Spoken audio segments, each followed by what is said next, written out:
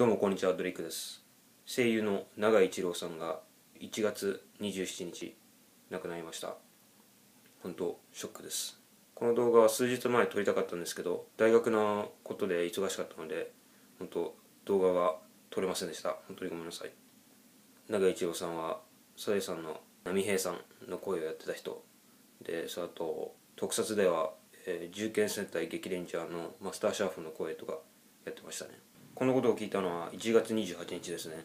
アメリカは11 12時間ぐらいあの日本より遅れてて、はい、で28日に、えー、そのニュースを聞きましたね。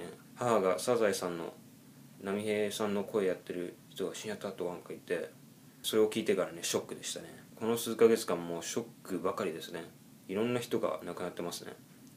10月にはヤックンが亡くなって11月にはハリウッドスターのポール・ウォーカーが亡くなったりで12月はネルセン・マンデラが亡くなったりもう本当にもう悲しいことばっかりですね。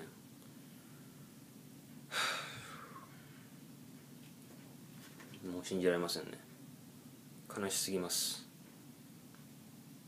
長井一郎さん今までありがとうございました。ご冥福をお祈りします。